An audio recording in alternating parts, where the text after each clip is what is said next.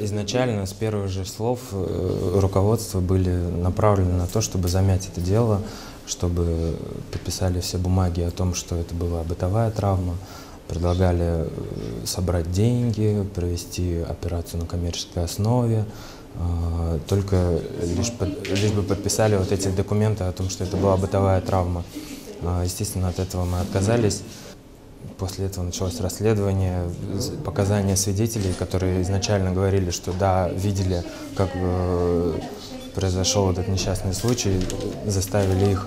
э, переписать показания, приехав к ним домой, э, видимо, э, под угрозу увольнения, на- наверное, я так предполагаю. Хотелось бы сначала восстановить глаз, но после восстановления глаза, сейчас она абсолютно даже вот вам не может интервью дать, только будем действовать после восстановления глаза.